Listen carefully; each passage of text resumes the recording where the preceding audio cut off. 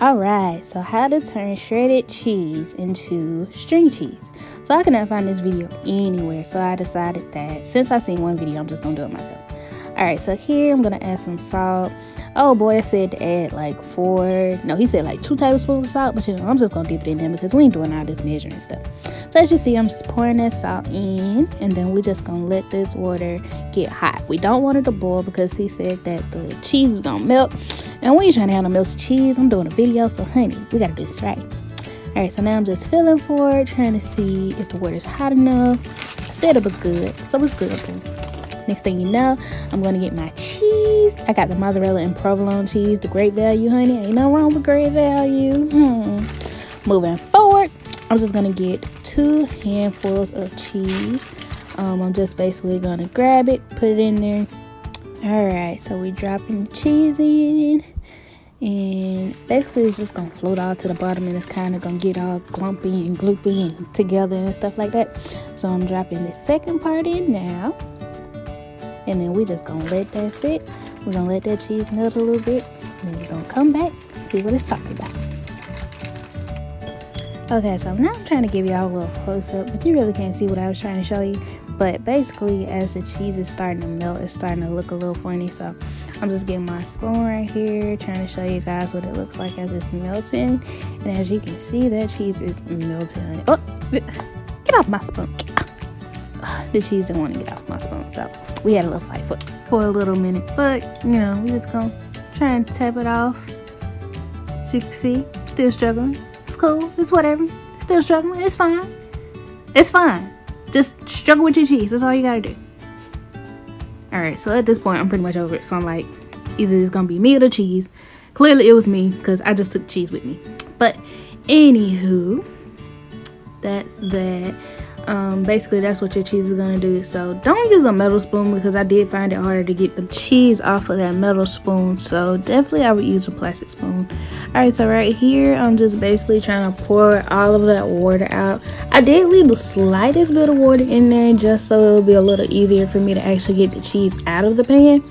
So yeah right here that's all I'm doing just trying to make sure that I don't drop the cheese into the actual strainer because I feel like that's gonna be nasty child. So yeah just get all as much water as you can out leaving the slightest little bit so that cheese will just slide out pretty easy onto a metal or glass. Plate but uh i really don't know who using the metal plate. I'm using glass so you can use glass or whatever you want to use. Just don't use plastic Alright, so in the next clip, I already got the cheese all the way out. I just used that little spoon to try and scoop the rest of it out, and it came out pretty easy. So right here, I'm just trying to, you know, pick up the cheese, trying to see how warm it is. This is why you do not want your water to boil, because you will need your hands in order to form that cheese into the shape that you want it to be. And so now I'm just stretching and flipping, stretching and flipping. Um, you can do it up to 20 to 30 times and if you're looking for that real string cheese where you can pull it apart then you want to do it at least like 20 to 30 times so you can get that real string cheese effect.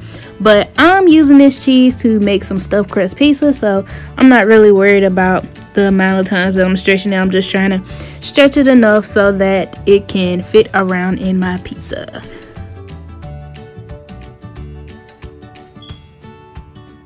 Okay, so now is the fun part where you can basically just squeeze the cheese into the shape that you want it to be.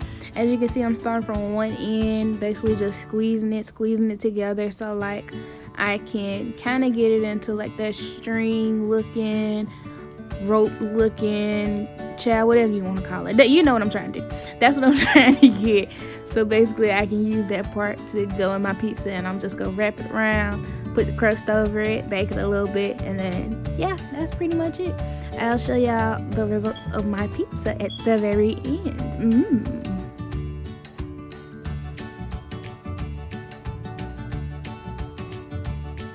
Okay, so every time I see this part, I just wonder what the heck am I doing? I'm like twisting it and turning it for some reason. I guess I'm trying to be fancy or something but it looks like it's working because it's actually extending itself. So that's what we're gonna say we're doing. We're extending the cheese. That's what we're doing.